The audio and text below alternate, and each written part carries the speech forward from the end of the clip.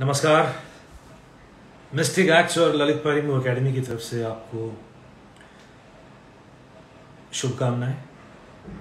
तो आज का सेशन शुरू करते हैं।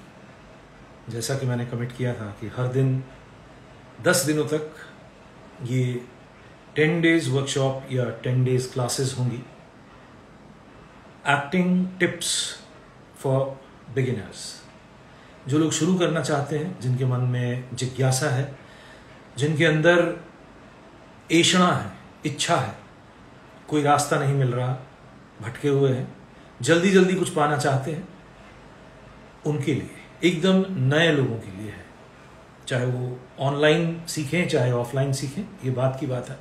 लेकिन मैं इन दस लेसन्स के ज़रिए एक बेसिक ओरिएंटेशन या एक बेसिक एजुकेशन देना चाहता हूँ उन लोगों के लिए जो सीखना चाहते हैं। अभी उन्होंने शुरुआत नहीं की। तो कल की बात मैंने क्या बताई थी कि फ़ैन कनौसू आर्टिस्ट। तो आर्टिस्ट बनने की कोशिश करें। धीरे धीरे आर्ट के जगत में और जाने, और समझे। आर्ट की बारीकियों को जाने। अभिनय की बारीकियों को देख देख कर जानेंगे। फ़िल्मों को देख देख कर, नाटक और कुछ एक्टर्स के साथ इंटरेक्ट करके। और कल मैंने एक इंपॉर्टेंट लेसन शेयर किया था, वो था ऑब्जर्वेशन का, कि आपकी दृष्टि में एक परिवर्तन आना चाहिए। जीवन अब नया दिखना चाहिए। नया कैसे होगा? हर चीज़, हर घटना, हर कार्य, उसमें एक ऑब्जर्वर की दृष्टि डालिए। ये छूट जाएगा 24 घंटे नहीं हो पाएगा, लेकिन फिर भी प्रयास करें। अपने आप को देखें, अपने इंटरेक्शंस को देखें। रिश्ते नातों में जो हो रहा है, सुबह से लेकर शाम तक जो भी आप कार्य कर रहे हैं, उसको देखते रहें देखते रहें। देखना, यानी पैनी दृष्टि से देखना ऑब्ज़र्व करना। ये पहला पाठ मैंने कल शेयर किया डिस्कस किया। ऑब्जर्वेशन की जो क्लासेस हैं, वो बहुत लंबे समय तक चलती हैं। मैं बीच में एक बार फिर और गहरा ऑब्ज़र्व कैसे किया जाए, इस पर भी कुछ बातचीत करूँगा। आज कुछ अलग बताता हूँ। मेरे अपने अनुभव में पिछले कई सालों से जो मैं शिक्षक के रूप में कार्य कर रहा हूँ, मैं ये अक्सर देखा हूँ कि जो लोग एक्टिंग सीखना चाहते सीखने के लिए आतुर होते हैं, बड़े उत्साह से आते हैं और कई बार पैसे भी अच्छे खासे खर्च करना चाहते हैं, कर देते हैं। लेकिन सब कुछ है उनके अंदर। डिज़ायर तो भरा पड़ा है, ऐसा बोलते हैं कि हम आग लगा देंगे और हम ये कर लेंगे, मेहनत करने के लिए तैयार है। बट उन्होंने अपना होमवर्क ठीक से नहीं किया होता है। होमवर्क क्या है? क्योंकि बनना उनको एक्टर है तो बोलना नहीं जानते। बोलने की समझ डेवलप नहीं हुई है। बोलने के साथ साथ पढ़ने की। अब यहाँ एक बहुत ज़रूरी चीज़ समझनी होगी, वो ये है कि एक्टर का 50 टू 70 परसेंट कार्य बोलना है। बगैर बोले, बगैर वाचन के वो अभिनय नहीं कर पाएगा। तो वाचन के लिए क्या ज़रूरी है? शब्द। और शब्द के लिए क्या ज़रूरी है? उसका उच्चारण, उसका प्रोजेक्शन उसकी क्लैरिटी और उसमें धारा प्रवाहिता और उसमें एक्सप्रेशंस ये थोड़ा सा काम सभी को घर बैठे कर लेना चाहिए। इससे पहले कि वो कहीं वर्कशॉप के लिए ट्राई करे एडमिशन लेने की सोचे। पहले इस एरिया में थोड़ा सा काम कर ले। अब वो क्या काम है, मैं बताता हूँ। अपने अनुभव में जो मैंने पाया, बहुत लोग चार लाइन सीधा सीधा पढ़ नहीं सकते। पंक्चुएट करना नहीं जानते। पंक्चुएट यानी कॉमा फुल स्टॉप इस एरिया में वो एकदम पिछड़े रह जाते हैं। स्कूल का बच्चा उनसे अच्छा कर लेता है।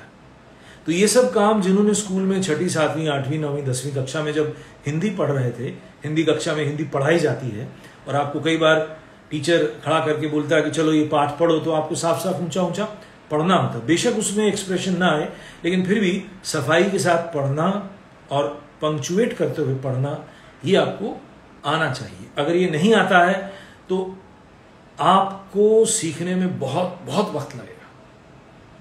तो ये काम पहले घर में कर लें। अगर वो लोग मेरा ये वीडियो देख रहे हैं, जो मुझसे हाल ही में संपर्क में आए हैं, और जिन्हें शिकायत है कि हमने उन्हें क्यों एडमिशन नहीं दिया तो उनके लिए ये खास कर ये बात मैं समझाना चाहता हूँ कि पहले पढ़ना और बोलना सीखिए। आइए मैं एक डेमोन्स्ट्रेशन देता हूँ। छः आठ लाइनें मैं पढ़ के आपको सुनाता हूँ कि जब भी आपको कुछ पढ़ने को मिले तो कैसे पढ़ना चाहिए? ये एक कहानी संग्रह है मेरे पास। राइटर इसकी क्षमा कौल है। उनकी लिखी हुई कहानियाँ हैं। तो आप घर बैठे इस तरह की कहानियाँ, पुस्तकें या अखबार पढ़ सकते हैं साफ़ साफ़ ऊँचा ऊँचा with proper punctuation which means right comma right full stop ये ज़रूरी है। कॉमा और फुल स्टॉप लगाना लोग नहीं जानते जब वो पढ़ते हैं। ये दुर्भाग्य है। और सपने हैं बड़े बड़े एक्टर बनने के और करोड़पति बनने के। तो शिक्षा के इस क्षेत्र में बहुत ज़्यादा सीखने की ज़रूरत है उन सभी को, जो ख्वाब देखते हैं कि उन्हें एक्टर बनना है। तो मैं छः आठ लाइनें इस कहानी से रीड करता हूँ, ताकि आपको ये समझ में आए कि साधारण रीडिंग कैसे करनी चाहिए। फिर मैं आपको ये समझाऊँगा कि क्यों एक्टर को इस एरिया में इम्प्रूवमेंट की ज़रूरत है। तो ये कहानी है न्यूज़ लेटर इसकी छः आठ लाइनें मैं पढ़ता हूँ। दफ्तर का आयोजन है राजभाषा की सेवा। और न्यूज़ लेटर छपे इससे बढ़कर क्या सेवा हो सकती है, इस कमबख्त भाषा की। द्विभाषी न्यूज़ लेटर छपेगा हिंदी में और अंग्रेज़ी में। राजभाषा के प्रसंग में अहिंदी भाषी प्रदेश का कीर्तिमान होगा। यह सब बड़े साहब का कहना है। कॉल की केबिन से खूब शोर आ रहा है। बातों, ठहाकों के बीच से उसका एक किस्सा मुखर हो उठता है। कल मेरी बच्ची ने अपनी वर्दी पर स्याही उंडेल दी थी। क्या कहता? बड़ी शरीर मिजाज है। कुछ डांट फटकार दूँ तो खून के आँसू रोती है। और यहाँ भी मुझे विभिन्न तरह के बच्चों से निपटना पड़ता है। क्या तुम सब लोग मेरे बच्चों जैसे नहीं हो? यूँ कॉल घर की बात को दफ्तर में सरका कर अपनी बात जारी रखता है और धीमे धीमे फैक्ट्री के वित्त से भी बात को जोड़ता है।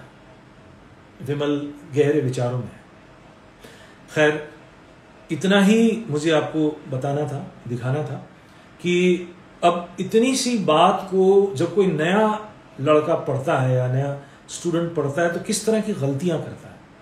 पहली गलती है अटक अटक के पढ़ना, जैसे दफ्तर का आयोजन है राजभाषा की सेवा। अब आप अगर इस तरह से पढ़ेंगे तो आप कैसे एक्टर बन सकते हैं। आप कैसे एक्टिंग सीख सकते हैं? तो अगर आपको स्कूल में इस तरह की ट्रेनिंग नहीं हुई है, जहाँ आपने बाकायदा विराम, पूर्ण विराम लाइन का थोड़ा सा अर्थ बनाते हुए नहीं बोला हो तो बहुत दिक्कत होगी। अब अगर आपकी हैबिट ऐसी है कि आप पूरी लाइनों को जोड़ देते हैं, जैसे मान लीजिए पूर्ण विराम बिना लगाए पढ़ देंगे, और न्यूज़ लेटर छपे, इससे बढ़कर क्या सेवा हो सकती है? इस भाषा की द्विभाषी न्यूज़लेटर छपेगा हिंदी में और अंग्रेज़ी में। बहुत लोग ऐसा पढ़ते हैं। तो इस पढ़ने की जो कला है, पढ़ने की जो क्रिया है, इसमें सुधार लाना होगा। और ये घर बैठे करना होगा आपको। ये आज का दूसरा टिप है।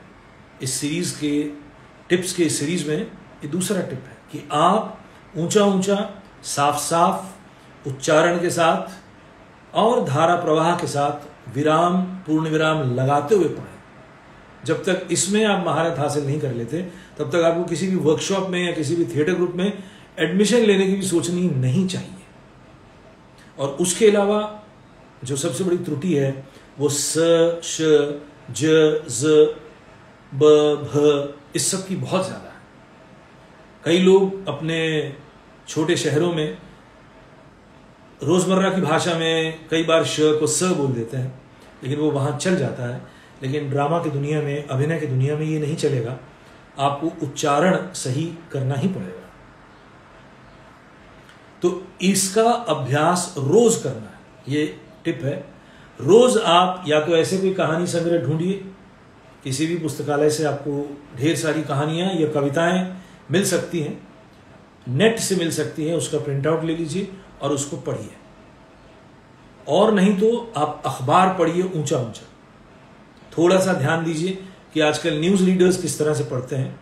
न्यूज़ रीडर्स का जो ड्रामाई स्टाइल है, उसको कॉपी करने की ज़रूरत नहीं है, लेकिन न्यूज़ रीडर्स का जो उच्चारण है साफ़ साफ़ बोलना है, उसको समझ के अपने जीवन में उतारने की ज़रूरत है just as a practice as an exercise ये आपकी जबान को ठीक करेगा। आपको बोलने की एक ताकत देगा। बोलने में भी शक्ति जाती है। और अगर जिन लोगों का क्लैरिटी का प्रॉब्लम है, जैसे कोई ऐसे बोलता है, ये लाइन जो मैंने अभी पढ़ी, दफ्तर का आयोजन है, दफ्तर का आयोजन तो उसको ठीक करना होगा, दुरुस्त करना होगा। तो कैसे बोलेगा वो? एक एक अक्षर को साफ़ साफ़ स्पष्ट करते हुए बोलना होगा। दफ्तर का आयोजन है। एक एक शब्द को इज़्ज़त देते हुए बोलना पड़ेगा। तो इतनी मेहनत आपको घर से ही करनी होगी। आप घर बैठे ये काम कर सकते हैं। राजभाषा की सेवा। तो उसमें जो ध्यान देने वाली बात है, वो ये है कि जहाँ भी मात्राएँ होती हैं, हिंदी में मात्राएँ होती हैं और साथ में व्यंजन होते हैं, है ना? तो जहाँ भी ये मात्राएँ हैं, अ, आ, इ ई उ उ, ए, ऐ, ओ, औ, अंग, आ, ये जो है, इसको साफ़ साफ़ बोलने की आदत डालें। एक्स्ट्रा वेट दें और एक्स्ट्रा प्रोलोंगेट करें उसको, लंबा खींचे उसे। और रियल लाइफ में भी जब आप बोले तो कोशिश करें कि साफ़ साफ़ और ऊँचा ऊँचा बोलें। इन मात्राओं की मदद से आपको शब्द को फैलाने में मदद मिलती है। शब्द अपने आप में एक बहुत बड़ा विषय है। इस पर कभी फिर थोड़ी चर्चा करूँगा। और अभिनेता की यह ज़िम्मेदारी है कि वो लिखे हुए शब्दों को इज़्ज़त से बोलते हुए अभिनय का कार्य करे। यहाँ ये बात समझनी है कि अभिनय की जो कला है उसमें अभिनेता दोयम दर्जे का कलाकार है। सेकेंडरी आर्टिस्ट है वो। वो प्राइमरी आर्टिस्ट नहीं है। चाहे वो फ़िल्म मेकिंग हो, चाहे थिएटर हो। तो प्राइमरी आर्ट वहाँ पर क्या है? प्राइमरी आर्ट है राइटिंग बगैर राइटिंग के कोई काम नहीं हो सकता। डायरेक्टर भी अपना काम तब शुरू करता है जब उसके पास स्क्रिप्ट होती है। बाकायदा बंदी हुई वेल बाउंड स्क्रिप्ट होती है, तब वो उस पर अपना काम शुरू करता है। तो पहला काम किसका है? राइटर का। राइटर ने एक कहानी लिखी है, एक फ़िल्म लिखी है सीरियल लिखा है ड्रामा लिखा है, या चार राइटर्स ने मिलकर लिखा है।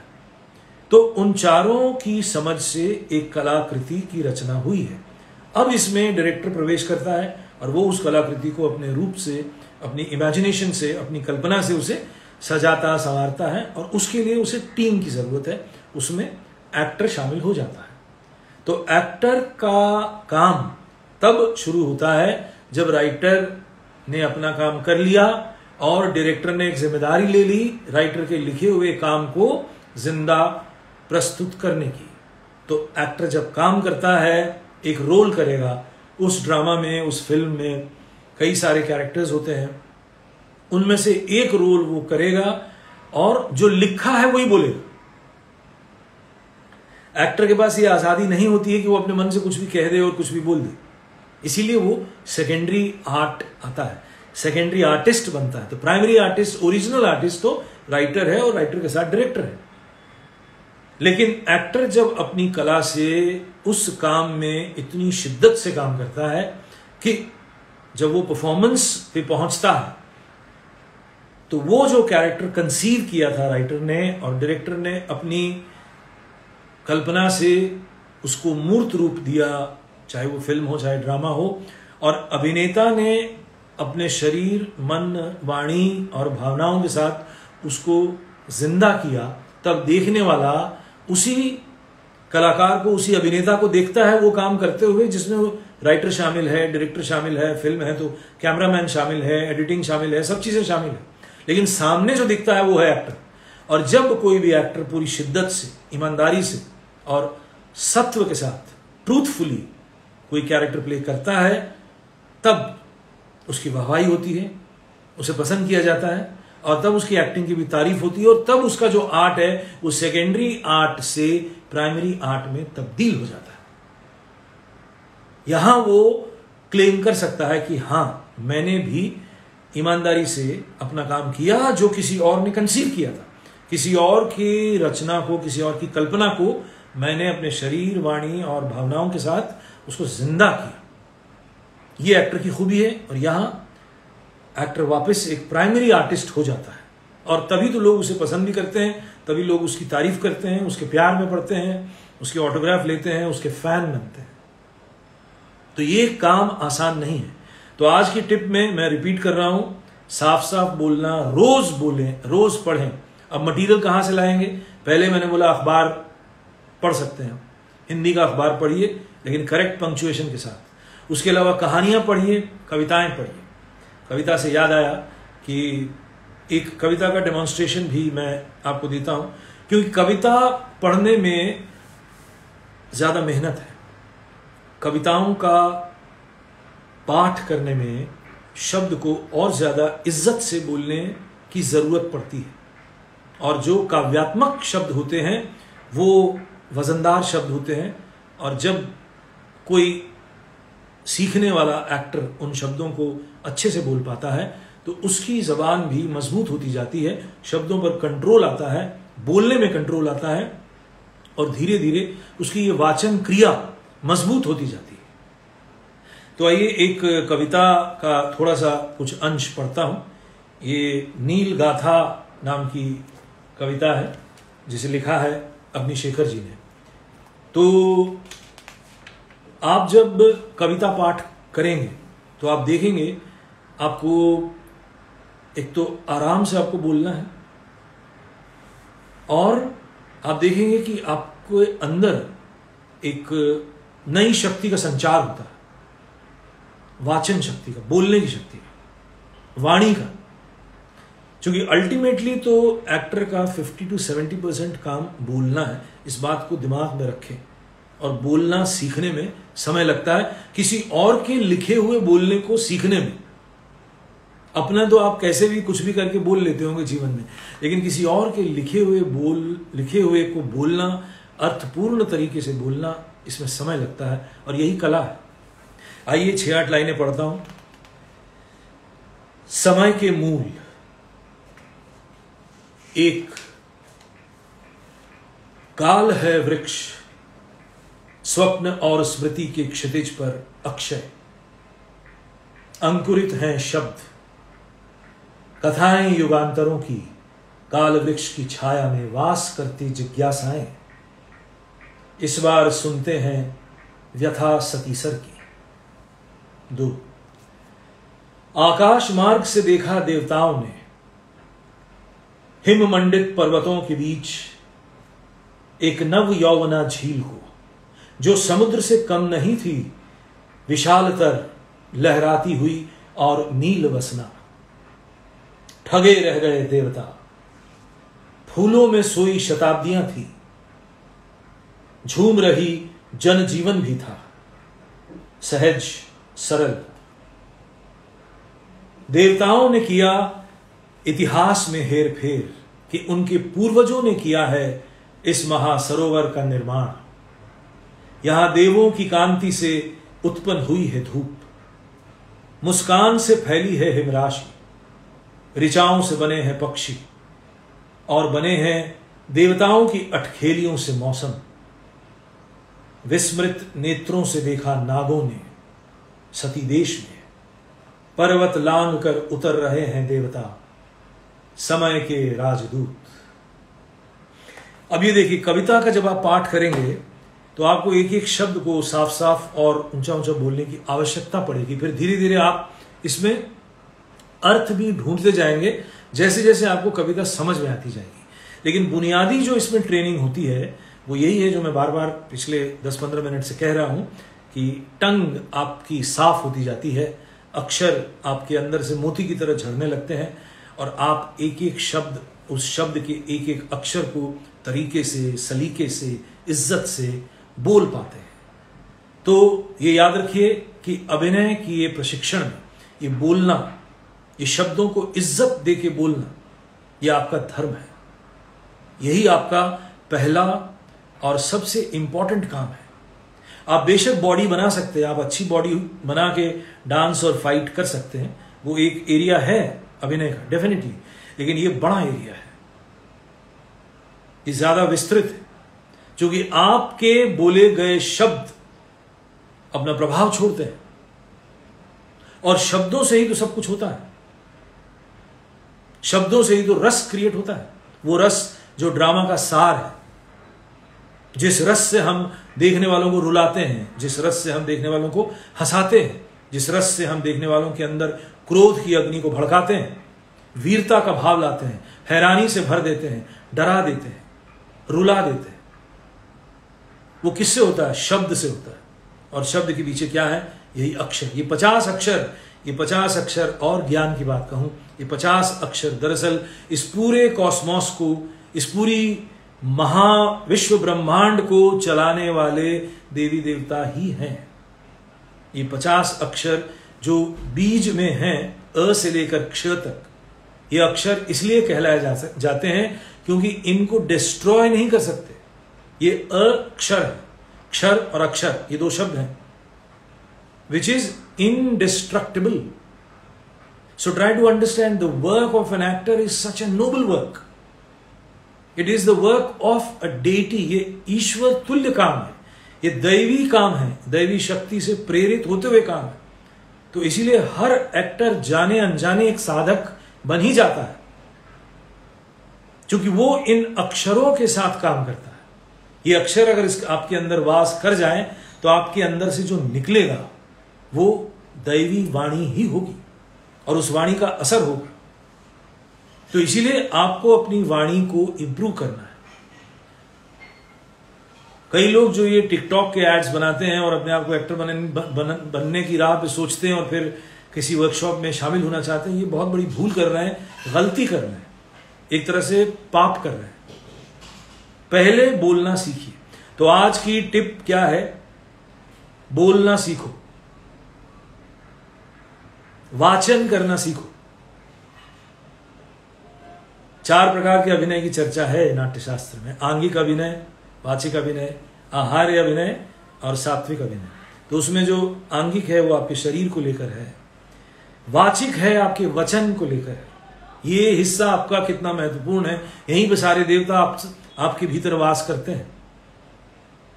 पुराने जमाने से जो वेद और उपनिषद पढ़ते पढ़ाते थे, उनकी वाणी में ताकत थी। और वो एक प्रकार के अच्छे अभिनेता थे।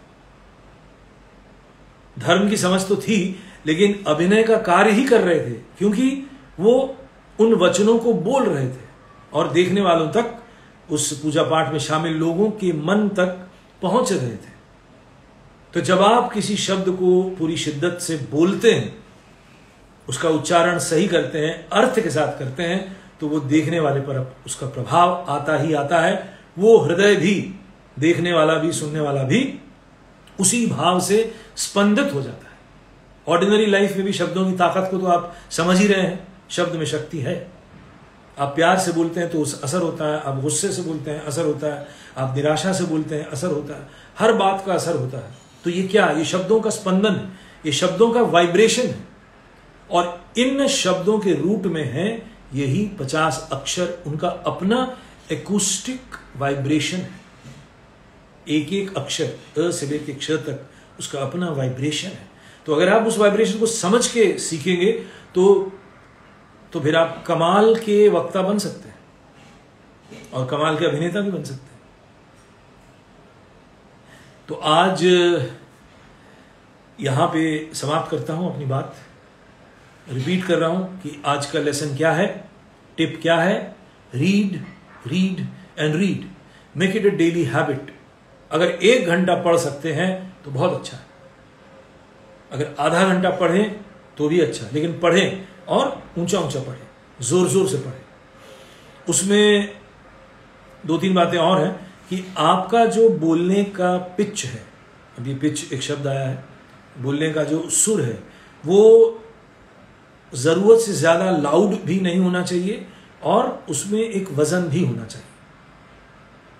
तो थोड़ा सा थ्रो करने की ज़रूरत होगी, अगर जिनकी आवाज़ महीन है, उनको अपनी आवाज़ को थ्रो करने की ज़रूरत होगी थोड़ी शक्ति लगेगी, पर अभ्यास के साथ धीरे धीरे वो उनका सेकंड नेचर बन जाएगा। सारे काम अभ्यास से ही होते हैं। हम जो सीखते हैं, लगातार प्रयास से ही सीखते हैं। तो प्रयास करते रहिए। ज़रूर परिवर्तन आएगा, ज़रूर आपकी वाणी में चेंज आएगा, ज़रूर आपके बोलने में शक्ति आएगी, ज़रूर आपका बोलना सुधरे। और तब आप जब किसी स्क्रिप्ट को लेकर पढ़ेंगे, बोलेंगे, अभिनय करेंगे तो वो शानदार ही होगा। आज बस इतना ही। सुनने देखने के लिए बहुत बहुत धन्यवाद। नमस्कार।